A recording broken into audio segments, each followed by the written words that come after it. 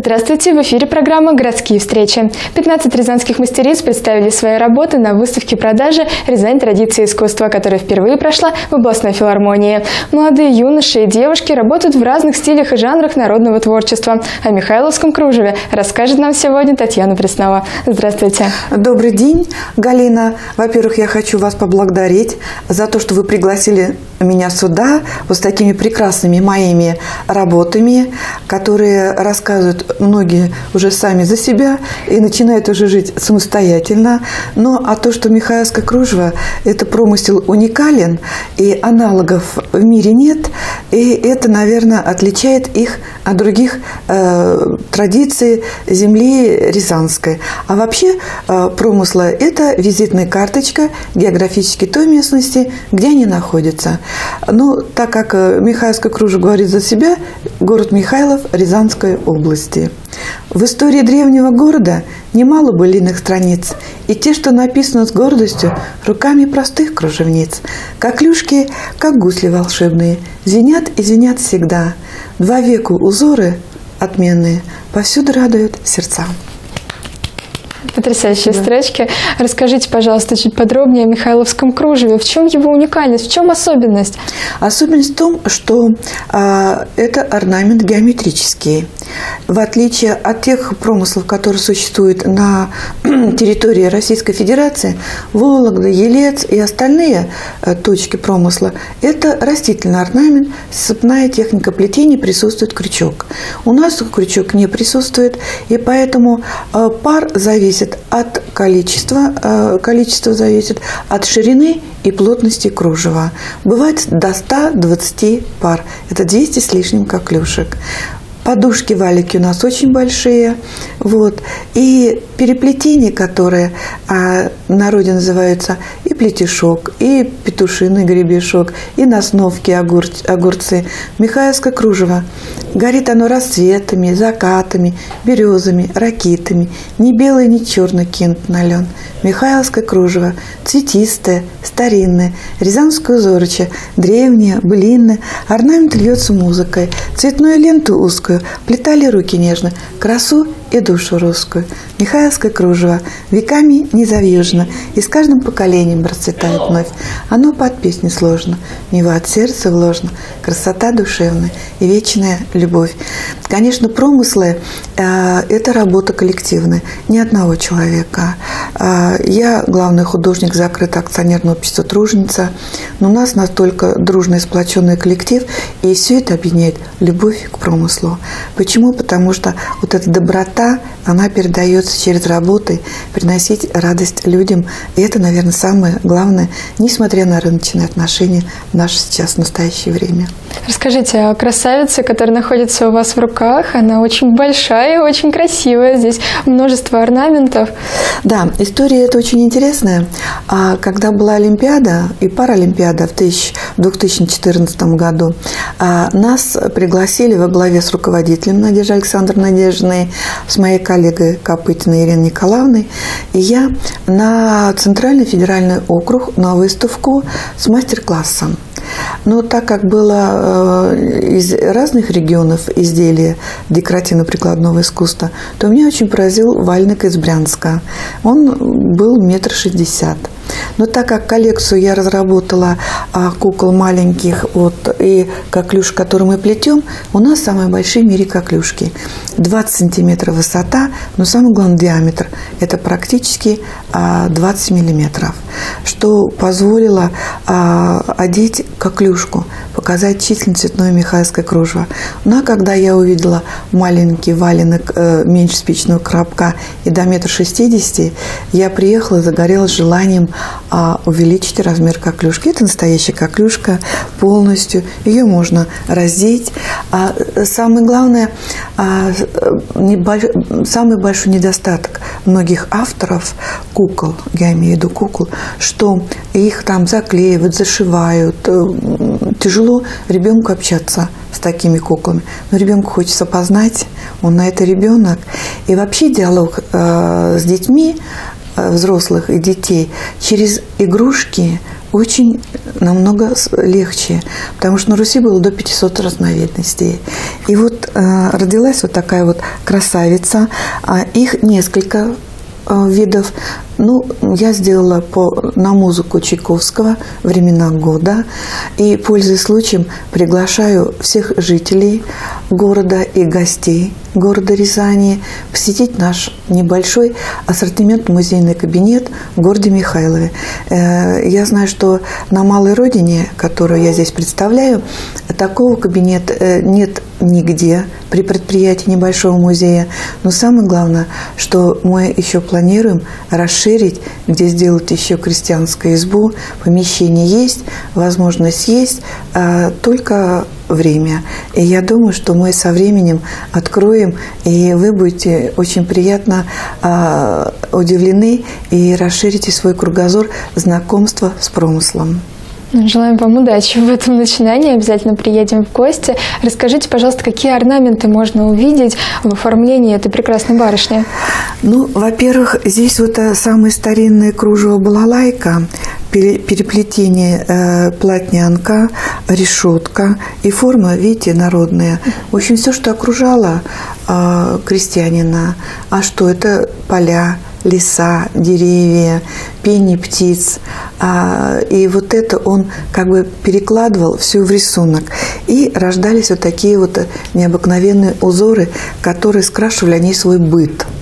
Вот. Здесь вот тоже, видите, а, небольшая в виде городка или павлиный хвост называется, когда павлиный хвост э, раскрывает красивый. И здесь есть вот э, восьмерочки, цепочки. Э, здесь, видите, уже восьмерочки, цепочки идут в орнаменте э, в крае, а здесь уже идут в прошие, тоже восьмерочки. Но другая цветовая гамма, по-другому немножко сплетены и смотрится по-другому. А здесь у меня таких, я уже говорила, времена года четыре куклы. Дело в том, что мы используем техническое сейчас коло, рисунок. Раньше его не использовали, поэтому называется численное цветное меховое кружево. По числу коклюшечек, по числу перевитей и по краям ставили иголочки. А здесь я применила цветовую гамму, не нарушая композицию, не нарушая технологический процесс, игра цветом. Получается, на барабане не, не было раньше у мастерицы вот этой... Технического сколка. Да. Ну, выражаясь современным языком, у каждой мастерицы компьютер был в голове, и глазомер был сильно а, развит. И, но так, когда про, пошло на промышленной основе, чтобы было у всех одинаково, то тогда ввели технический рисунок. Вот. Но на э, земле Рязанской было несколько кружев, видов кружева. Вот Михайловское численное, э, городское – это растительный орнамент, и белое скопинское, которое они отличалось немножко от Михайловского кружева. А так как начинали плести шерстяными нитками, то, конечно, для ровности материала орнамента, кружево, плетение кружева, то используй самые большие коклюшки. А я их использовала, вот их одела. Что такое кружево? Кружево – это окружать, оформлять от костюма. У нас плоскостные изделия, много разновидностей, ну и, и плательные группы. Но я решила разработать коллекцию кукол-коклюшек, которые а, будут нести информацию о кружевоплетении. И в руках вот такие вот сувенирные коклюшечки. Расскажите, пожалуйста, какие предметы быта чаще всего оформляли вот такими орнаментами, коклюшечным кружевом? Ну, а в основном костюмы. А, женские костюмы, а, их разновидностей было несколько. Свадебные, конечно, а, костюмы, когда девушка выходила замуж, фартуки, занавесы в костюме. Он играл вот очень большую роль, э, нес на себе функцию панева, низ юбки оформлялся, или нижняя часть э, сорочки э, называлась рубаха. Вот. И обязательно был декоративный предмет головной убор. Их было несколько разновидностей. Вообще деталь женской костюма нес всегда в себе информацию. Он был ну, в зависимости от данной ситуации свадебные, праздничный, будничный, но нес э, все равно по-любому красоту женственность, будем говорить так. А головной убор, чтобы женщина не упала ни один волос, называлось опростоволосилась. Вот. Фартук занавеса, занавешивали, когда девушка э, уже становилась женщиной, ходила, ждала пополнения, оберегали. Вот. И поэтому каждая деталь костюма, он нес свою функцию. И, конечно, оформляли нашим Михайловским Э, геометрическим орнаментом. А вот растительное городское кружево, а, там цветовая гамма не такая яркая, а более спокойная. А, в основном, почему оно городское, в городе носили. Там уже применялся растительный орнамент, и там уже применялся крючок. И там самый большой – это семь пар. Вот этим и отличается. Отлично. Расскажите нам, пожалуйста, об уникальной а, вещи, которая вот у нас лежит на столике. Что это такое? Это дорожка, а, кружево мое, а рисунок моей коллеги Копытной Ирины Николаевны. Потому что я говорю, что а, у нас коллективная работа, и э, у нас много совместных работ. И музей мы создавали. Э, музей даже помогла Надежда Александровна, руководитель, поняла, что музей необходим. И здесь, вот видите, пожалуйста, петушиные гребешки. Вот видите, действительно как гребешки. Вот павлинка, павлиный хвост или бубенцы. Как бы орнамент перекликается с этим вот с кружевом, с фартуком, но он уже другой. Прошва. А вышивка э, крест, полукрест по счету ткани, нитки, нитки ткани. Мы работаем только с натуральными нитками, а, мулины и лен, и с натуральными тканями лен. Мне очень нравится сказка про лен. Рос лен и говорил, какой же я счастливый, я дружу с вами, с цветами, омытой дождями, согретой солнцем. А цветы говорят, вот подожди, придут люди, выдернут тебя, будут бить, трепать. Ну, действительно, пришло время, трепали, но когда получился кусочек белого полотна и попал к великой мастерице, рассыпали, рассыпался орнамент, Леон воскликнул, принося людям радость, можно все перетерпеть. Отлично. Расскажите, пожалуйста, для чего использовался а, раньше вот такой предмет быта? Для оформления интерьера, внутреннего интерьера. А, стола ли а, женщины туалетный столик. Вот. И... Это такая скатерть получалась, да, по большому счету. Поэтому, да, она носит как бы оформление плоскости стола, любого там, но это дорожка а размер уже может быть совершенно разный. И маленькие салфеточки, большие, и а, большие скатертя мы выполняем заказ, поэтому любой может кто обратиться. При этом мы можем даже изменить цветовую гамму. Мне очень нравится коричневый цвет а, в сочетании со скопинской керамикой. Это наш промысел уникальный. И два промысла э, как бы э, смотрятся очень хорошо. А мы также э, сотрудничаем с Шиловской лозой, которая поселок Шилово Рязанской области. Почему? Там прекрасные корзины, и если это положить полотенце, оформить.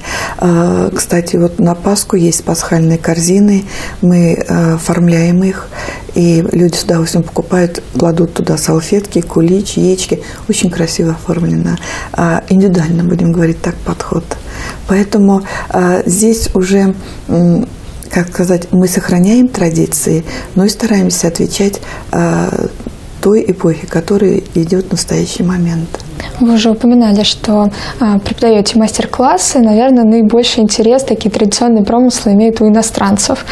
Да, вы знаете, у нас были голландцы, и когда они сделали мастер-класс, а, мы их попросили, ну, поставьте вот на ладошку, давайте мы из ваших вот э, работ сделаем хоровод.